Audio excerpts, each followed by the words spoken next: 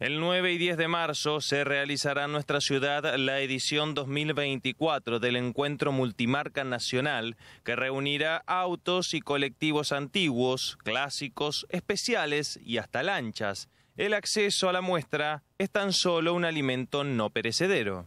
El día sábado a la mañana temprano en este mismo lugar vamos a concentrar 10 y media de la mañana ah, para salir a las 12 porque viene mucha gente de afuera. Entre ellos vamos a traer un, un par de colectivos históricos que vienen desde Buenos Aires.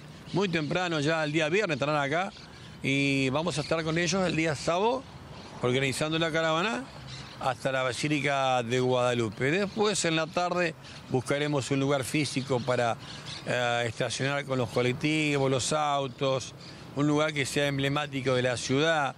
Todavía no lo decidimos porque queremos más que nada atender a la gente que viene. Y bueno, el domingo a las ocho y media de la mañana eh, vamos a estar allá en la Basílica de Guadalupe recibiendo los más de 250 autos que vienen de toda parte del país.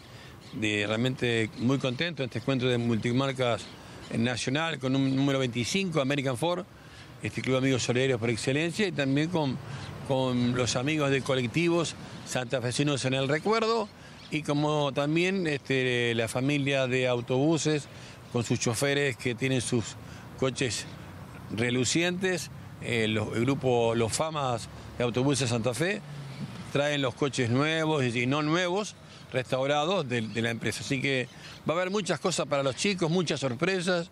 Vienen personalidades que nos van a visitar en nuestra ciudad, eh, ligados al automovilismo internacional.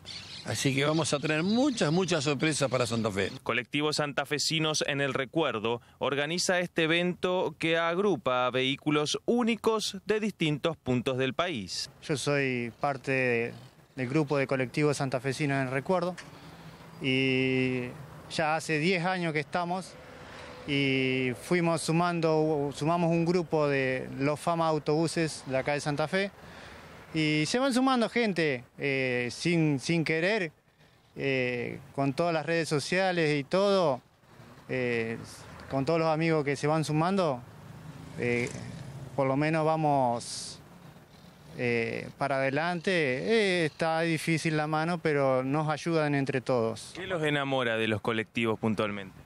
Y yo, mi padre era colectivero con Marcelo Prigioni, trabajaban en la línea 13 y ya vivía yo arriba del colectivo, así que ya herencia de, de familia. ¿Y estos colectivos así clásicos qué tienen de pintoresco, por ejemplo? ¿Qué preservan de la historia?